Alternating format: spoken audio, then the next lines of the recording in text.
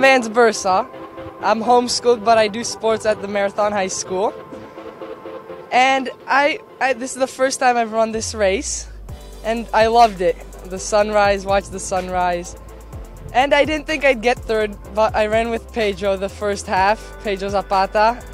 And then then I saw this kid from I think he was from Wisconsin, and I started I picked on to him and I stayed with him the whole race until the hump, and then he he he started slowing down, so I passed him, and I then from there on I just ran by myself. I knew he was right behind me, so he pushed me the whole race.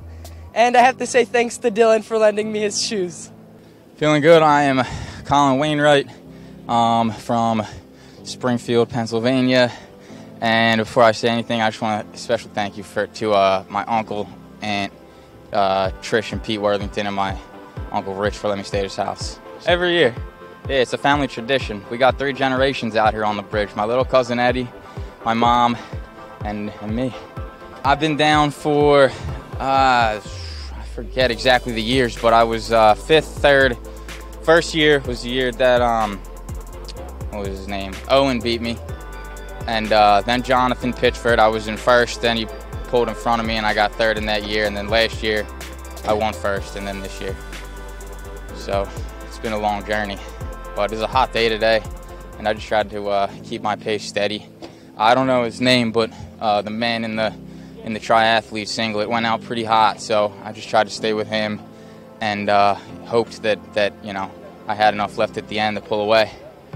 Yeah, I want to thank, uh, of course, you know my, my uncle Richard, my uncle Pete Worthington, uh, Trish Worthington, my aunt who always you know gets us in the race, and then my mom, my dad, and, and stepmom back in back in Springfield, and uh, my girlfriend Natalia back in New York. We got family everywhere, and uh, you know, uh, to my girlfriend's Ukrainian heritage, know, just a prayer for the people there.